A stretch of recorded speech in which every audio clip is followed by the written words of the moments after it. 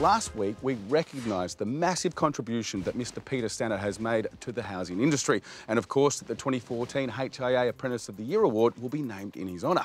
This week, we're at the 2014 Stratco HIA Apprentice of the Year Awards. And I'm joined by the great man himself, the Executive Director of the HIA, Mr John Gelavis. How are you, sir? Good, Aaron. How are you going? Thanks for inviting us along. Now, I've got to ask, why does the HIA invest, promote, and work so hard to get the Apprentice of the Year award out there? Well, the HIA really recognise the importance of apprentices for our industry. We need to make sure we've got a developed and strong workforce you know, going into the future to build the amount of homes we need to build, and apprentices are really important for that process. Uh, tonight, we'll be recognising not only the apprentices, but also the host trainers, which are really important to the process, and give them a chance to network with builders who may actually employ them into the future. So it's a great opportunity for them tonight, and it's a great way to recognise our apprentices. Okay, now later on, I'm going to meet the man himself, Mr. Peter Stannard. Absolutely. Can't, can't wait. wait. Thank you Good for having you, us. Got Cheers. a party to go to. Now, if you'd like to find out more about the 2014 HIA Apprentice of the Year Awards, make sure you go to hia.com.au or follow the links from the West Real Estate Program.